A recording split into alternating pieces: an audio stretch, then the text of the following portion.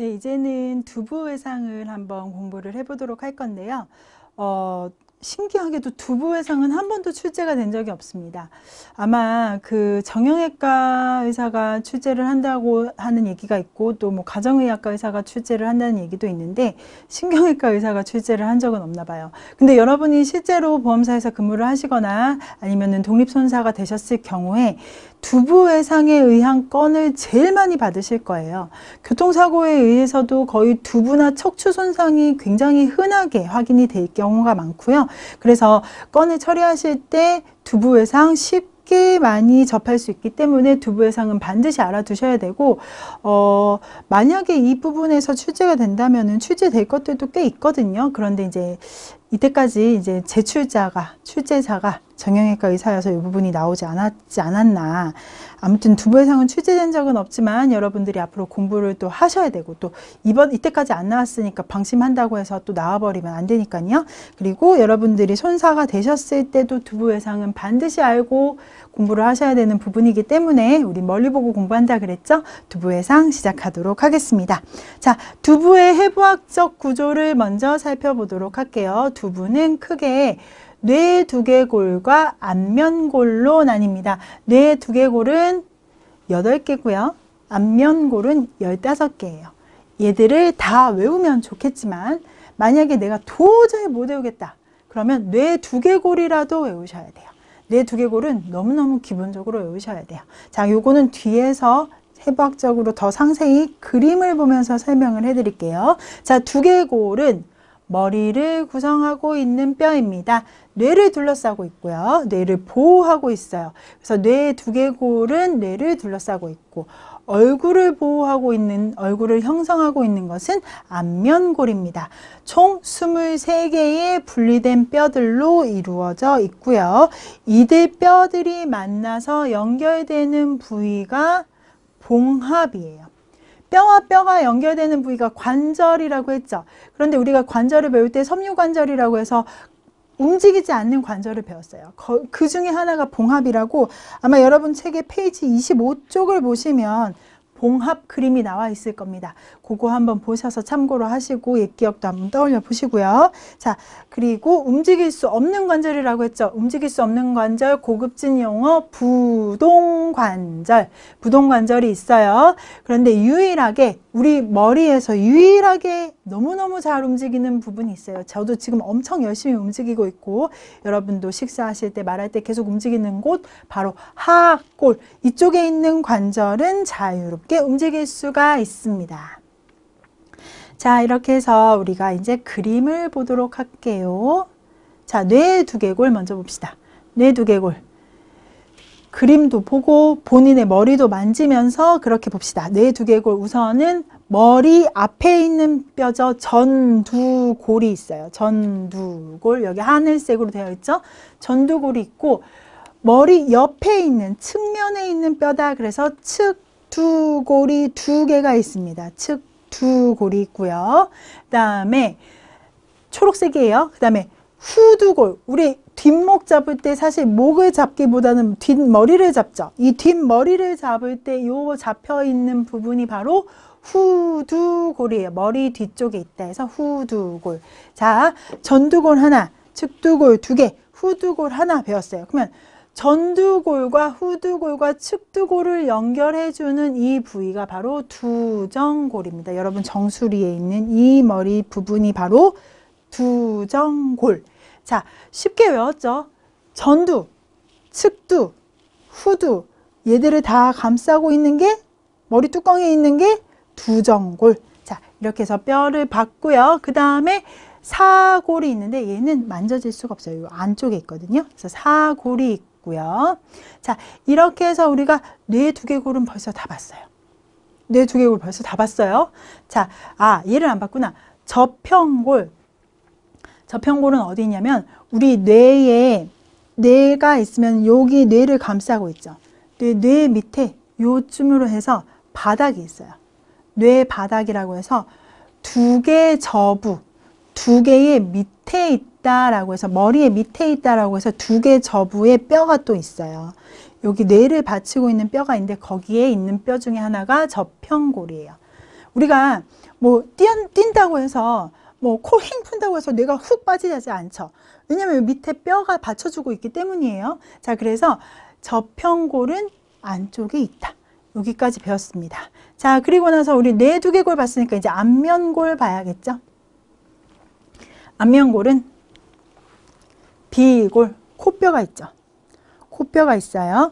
코뼈가 여기 지금 보시는 것처럼 작죠. 요 밑에 여러분들이 만져지는 이 뼈는 연골이에요. 연골. 연골이어서 이렇게 쉽게 왔다 갔다 왔다 갔다 하는 거고 막상 엑스레이나 CT를 찍었을 때 CT는 좀 나오겠다. 엑스레이를 찍었을 때 요 뼈가 안 보여요. 자, 어쨌든 비골이 있습니다. 코뼈에 있는 비골. 네, 누골은 우리 여기 눈물 나오는 데 있죠. 여기 이렇게 만져보시면은 눈물 나오는 눈물 구멍 어디 있는지 아시죠? 이쪽에 있는 거 아니에요. 눈물 구멍 이 안에 있죠. 우리 거울 자세히 보면 여기 커다란 구멍 하나 있어요. 그 밑에 있는 뼈가 누골입니다. 누골이 있고요. 네, 관골, 관골은 광대뼈 있는데 여기 관골이 있고요. 그다음에 하비갑계가 안쪽에 있어서 여러분이 지금 만질 수는 없고요. 상악골, 우리 윗니가 붙어 있는 곳이 상악이고요. 아랫니가 붙어 있는 것이 하악이에요. 악이라는 것은 턱을 얘기를 하죠. 그래서 턱은 턱인데 위턱, 여기가 상악, 아래턱, 하악 이렇게 되어 있습니다. 그 다음에 서골도 있고요. 하비갑계까지 있습니다. 옆으로 봤을 때도 똑같이 있으니까요. 이 부분들은 만져가면서 외우시면 훨씬 더 쉽게 암기를 하실 수 있을 거예요. 자, 그리고 머리 뼈에도 뼈끼리 연결이 되어 있으니까 반드시 관절이 있긴 한데 관절이 무슨 관절이라고 그랬죠? 섬유관절이어서 봉합이라고 했습니다. 봉합. 두개골이 만나서 연결된 부위를 봉합이라고 해요. 봉합이라고 하고 근데 이 봉합이 출생 전에 보세요. 출생 무렵 두정골 주변에서 아직 두개골의 고라가 완성되지 않아서 뇌가 얇은 막에 의해 덮여 있는 곳이 있어요. 혹시 아이를 키워보신 분이나 아이를 뭐 보신 분이나 해서 보면은 신생아 이렇게 만져보면 여기에 우리가 만지면 여기 딱딱하죠. 근데 아이를 만지면 여기가 말랑말랑해요. 왜냐하면 여기 뼈가 아직 다 만져 생성된 게 아니라 막으로만 되어 있기 때문이에요. 그래서 이렇게 구멍이 나 있어요. 이 지금 위에서 아이를 이렇게 쳐다보는 그림이거든요. 그러면 구멍이 나 있어요. 여기 지금 눈이 여기 있어요. 구멍이 두 개가 있어요. 이것을 천문이라고 합니다. 천문. 하늘을 향해서 문이 열려 있다 그래갖고 천문이에요. 맞죠? 아기가 지금 머리가 하늘을 향해서 문이 열려 있어요. 그래서 천문이에요.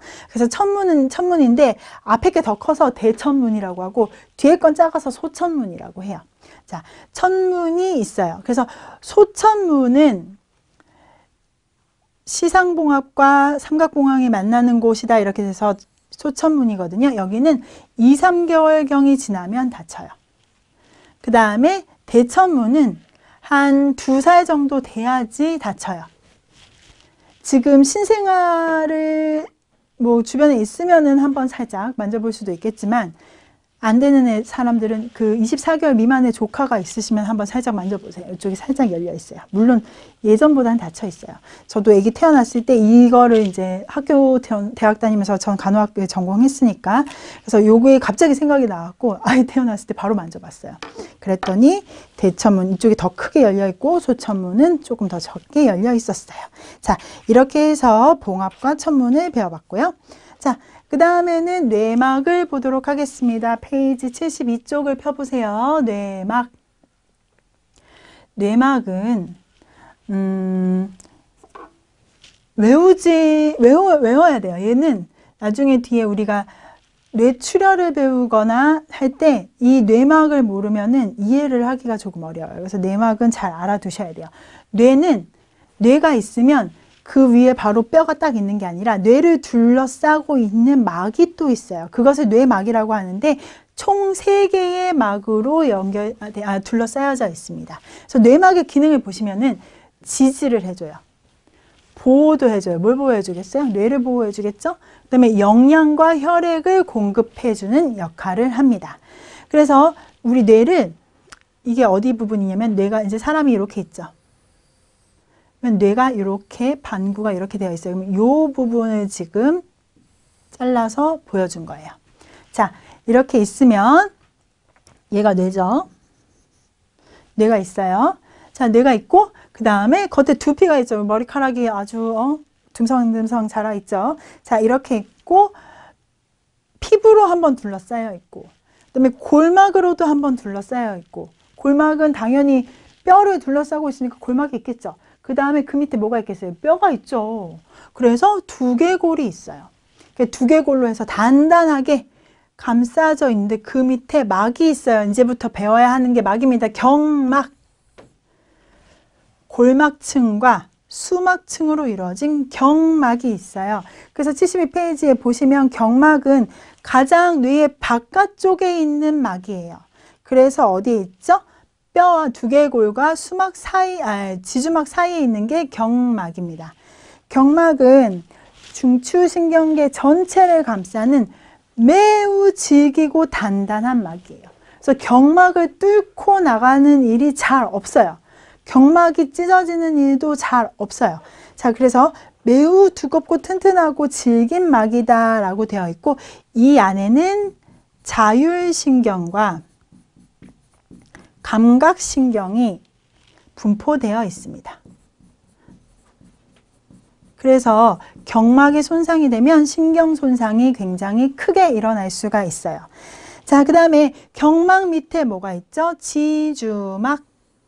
지주막이 있어요. 지주막은 경막과 연막 사이에 있는데 여기 보시면은 막 이렇게 줄이 그어져 있죠. 지주막 밑에 거미줄처럼 줄이 있어요. 그래서 얘를 거미줄처럼 줄을 가지고 있다고 해서 거미막이라고도 얘기를 합니다. 자, 거미막이라고도 얘기를 해요. 얘들은 뭐가 있냐면은 뇌와 척수를 둘러싸면서 완충작용을 해요.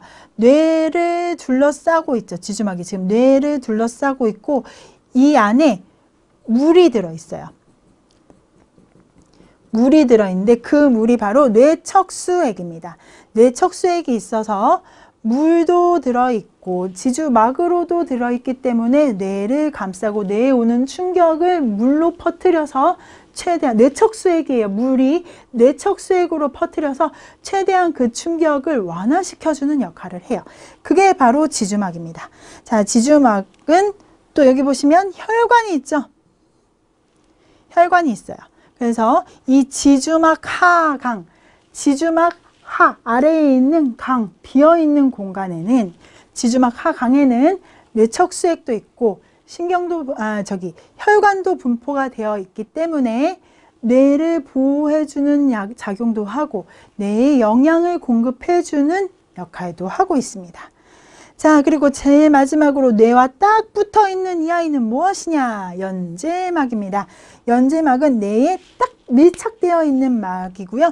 여기에 신경이 엄청 많이 퍼져 있어요. 자, 그렇게 해서 우리가 세 가지의 막을 배웠습니다. 여러분이 반드시 기억을 해 두셔야 되고요. 특히 경막, 지주막은 앞으로 계속 배울 거예요. 그리고 계속 듣게 될 거고 손사가 되셔도 계속 알게 될 거예요. 그래서 경막과 지주막은 반드시 기억을 해 두셔야 됩니다. 자, 이렇게 해서 우리가 뇌막도 봤고요. 그 다음에 이제 뇌막을 봤으니까 뼈 봤죠? 그 다음에 막을 봤죠? 그러면 이제 본격적으로 뇌를 봐야겠죠? 그래서 뇌를 보도록 하겠습니다. 뇌라는 것은 우선 사진을 띄워놓고 봅시다. 자, 뇌는 우리 뇌는 대뇌, 소뇌, 뇌간 크게 이렇게 세 가지로 나뉘고요. 어, 사실 뇌를 우리가 배울 때 대뇌의 기능은 뭐고 소뇌의 기능은 뭐고 그다음에 뭐 전두엽의 기능은 뭐고 뭐 이런 식으로 다 배우긴 하지만 얘들은 사실 그 기능들을 일부 공유하고 같이 가지고 있어요. 그래서 우리가 편의상 구획을 해놓긴 했지만 사실은 치밀하게 연결되어 있기 때문에 어느 한 부분에 딱 일정 기능을 전담한다고 말하기는 어렵다라고 되어 있고요. 그 다음에 우리 뇌는 오른쪽과 왼쪽으로 나눠져 있어요. 자, 오른쪽과 왼쪽으로 나누어져 있기 때문에 우리가 뇌를 뭐라고 하냐면 보통 뭐 대뇌 반구다라고 얘기를 하거든요. 뇌를 반으로 실제 봤을 때는 나눠져 있진 않지만 이렇게 고랑이 있어요. 그래서 어, 뇌량이 있어요. 그래서 그게 왼쪽, 오른쪽으로 나누어져 있다라고 생각을 하시면 돼요. 자, 우리 뼈 배웠을 때처럼 똑같이 하면 됩니다. 우리가 머리 앞에 있는 뼈라고 해서 전두골이라고 배웠죠. 그러면은 뇌는 뒤에 옆이라는 말을 써요. 옆이라는 말을 쓰는데 옆을 영어로 하면 로비거든요. 옆이라는 말을 붙여서 쓰면 됩니다. 자, 그래서 머리가 앞으로 갔어요. 앞에 있는 뇌는 전두골 밑에 있는 뇌는 전두엽. 자, 양쪽에 있는 거, 귀 주변으로 해서 양쪽으로 이렇게 있는 뇌는 측두엽. 그 다음에 머리 뒤, 후두에 있는 후두골 밑에 있는 뇌는 후두엽. 당연하죠. 그 다음에 우리 측두골, 전두골, 후두골 사이에서 요 머리 뚜껑이 있는 두정엽 아래에 있는 뇌는 두정엽이겠죠. 두정골 아래에 있는 뇌는 두 정엽. 자, 그렇게 기억을 하시면 됩니다. 다 전두엽, 측두엽, 후두엽 합해서 두정엽 그리고 제가 지금 말한 게 대뇌예요. 이게 대뇌의 전부예요. 그 다음에 이 대뇌 밑에 이렇게 주먹만한 게 하나 있는데 그게 바로 소뇌예요. 작은 뇌라고 얘기하죠. 자, 그래서 우리가 대뇌를 먼저 살펴보도록 하겠습니다. 대뇌는 책을 보면서 이야기를 해볼까요? 대뇌는 좌우에 두 개의 방구로 나눠져 있고 전체 뇌의 80%의 비중을 차지합니다. 그리고 대뇌 바깥쪽은 대뇌 피질, 겉질이라고 하면서 회색을 띠고 있어요. 그래서 대뇌 피질을 다른 말로는 회백질 약간 완전 회색이 아니라 회백색이 섞여 있어서 회백질이라고 얘기를 합니다. 대뇌의 겉질, 피질은 회백질이다.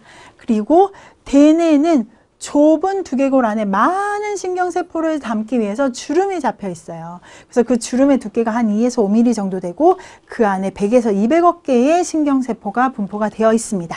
자, 그리고 대뇌의 겉을 배웠어요. 피질을 배웠으니 대뇌의 속을 배워야겠죠. 대뇌의 수질. 수질은 축삭돌기 있고요. 백색을 띠고 있어요. 그래서 백질 이라고 부릅니다.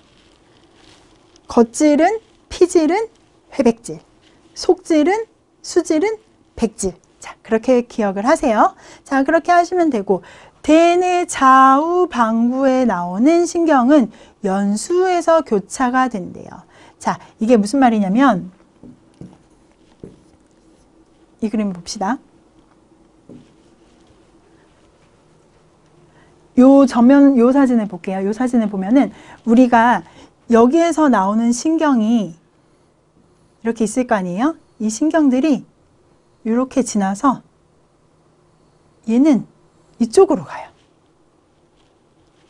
오른쪽에 있는 여러분이 봤을 때 오른쪽에 있는 사실 이거 왼쪽이거든요. 이건 나중에 가르쳐 드릴게요. 자, 이 왼쪽에 있는 신경은 대뇌를 거쳐서 이 부분이 연수인데 연수에서 오른쪽으로 가요. 좌측에 있는 신경은 그 다음에 우측에 있는 신경은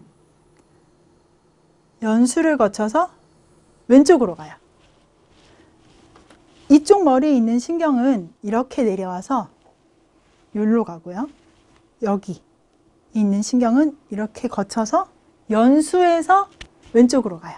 자, 그렇게 해서 신경이 교차가 돼요. 교차가 된다는 것을 지금 이걸 설명을 하는 거예요. 자, 어디 나와 있냐면 대뇌 좌우 방구에서 나오는 신경은 연수에서 교차가 되므로 연수에서 교차가 되므로 좌방구는 몸의 오른쪽, 우방구는 몸의 왼쪽의 감각과 운동을 담당해요. 그래서 오른쪽 뇌가 다치면 왼쪽 팔다리에 문제가 생기고 왼쪽 뇌가 다치면 오른쪽 팔다리에 문제가 생겨요. 교차되기 때문에 어디에서 연수에서 신경이 연수에서 교차되기 때문에 좌우로 바뀌는 곳에서 운동과 감각을 담당을 하고 있어요. 자, 반드시 기억을 해 주셔야 돼요. 그래서 오른쪽 뇌를 다쳤는데 가서 환자를 보면 왼쪽 팔다리가 문제가 있죠. 근데 오른쪽 뇌를 다쳤는데 가서 봤더니 오른쪽 팔다리가 문제가 있어. 그럼 이거는 딴데 다친 거 아니야? 척수가 다쳤는데 다른 데 다친 거를 확인해 봐야 돼요. 자, 반드시 이거는 기억을 하셔야 됩니다. 자, 그리고 대뇌의 위치에 따라서 기능을 구분을 한대요. 자, 그 다음에 위치를 따라서 아까 우리 구분하는 거는 했죠.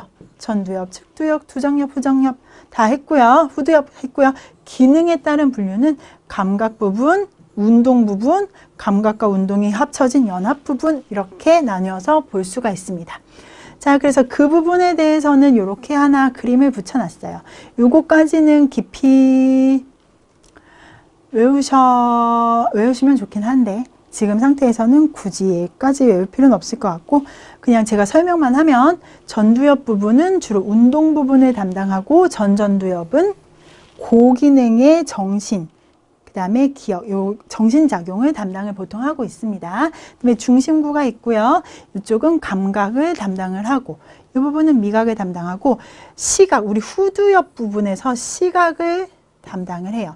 그래서 뒤통수를 빵 하고 치면 순간적으로 눈에 불이 번쩍한다든지 갑자기 앞이 갑자기 깜깜하게 안 보인다든지 이런 얘기를 하는 경우가 있는데 그것은 후두엽 부분이 시각을 담당하기 때문이에요. 그리고 이쪽에 보면은 브로카 영역이라고 있어요. 뭔가 브로카 영역이 뭐냐면 이쪽이 말을 관장하는 영역이거든요. 그래서 브로카 영역이 닫혀서 말을 못하는 경우가 있는데 그걸 바로 브로카 실어증이라고 해요. 근데 이게 뭐냐면 그냥 이거는 뭐 여러분들이 지금 공부할 필요는 없고 알아만 두세요. 이게 쉽게 말하면 운동 실어증인데 상대가 나한테 말하는 건 이해를 해요. 이해를 해요. 그래서 상대가 나한테 뭐 얘기를 하면서 너 한번 팔 들어보세요 이렇게 얘기를 하면 팔을 들어요. 팔을 들을 수 있어요. 근데 당신 이름을 얘기해 보세요 하면은 내 이해는 하는데 말을 못 해요. 말이 안 나와요. 아니면 한 얘기만 해요. 김유나예요 이렇게 얘기해야 되는데 이게, 이게 왜 이런 식으로 밖에 얘기를 못 해요. 그게 바로 브로카 실어증이에요. 즉 말은 이해하지만 말은 이해하지만 표현을 할 수 없는 상태. 즉 말 자체가 안 나오는 상태를 브로카 실어증이라고 하고 뭐 베로니케 실어증이라는 것도 있어요. 그거는 말을 했는데 이해를 못 하는 거예요. 뭐 그런 게 있다. 이 정도는 그냥 우스갯소리로 넘어가고 자, 우리 손해를 봅시다. 이제 대뇌까지 봤으니까요. 손해를 보도록 합시다. 손해는 아까 어디 있었죠? 대뇌 밑에 주먹만하게 조그만하게 있었죠. 그게 바로 손해입니다. 뇌관 뒤쪽에 있고요. 전체 무게의 10%를 차지를 하고 매우 깊게 주름이 지어져 있는 이곳은 몸의 자세와 균형, 즉 평형을 유지하고 공간 운동을 조절하는 중추가 존재를 합니다. 이 공간 정도를 지각할 수 있는 중추가 손해에 있어요.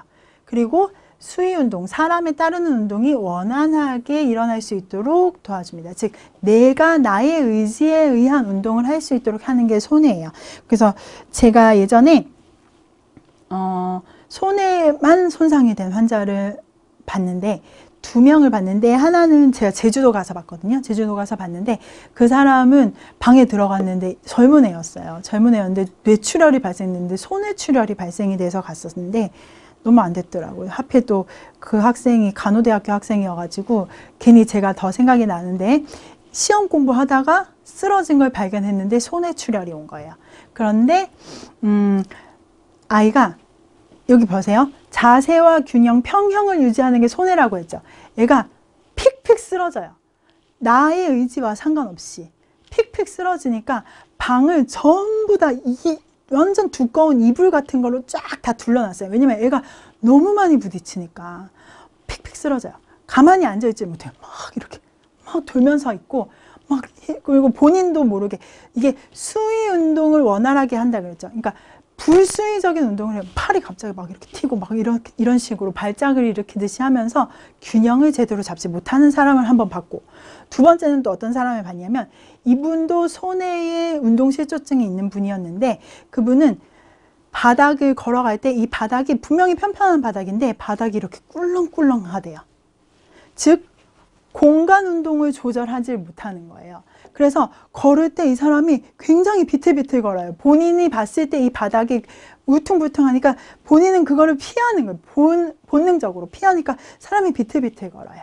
자, 그렇게 하고 그 다음에 일자로 걷지도 못하고 그런 식으로 손에는 우리 몸의 평형을 조- 조절해주고 공간 운동을 조절하고 수위적인 운동을 원활하게 할 수 있도록 해주는 곳이다. 제가 이 예를 얘기한 거는 손해를 기억하라고 얘기를 한 거예요.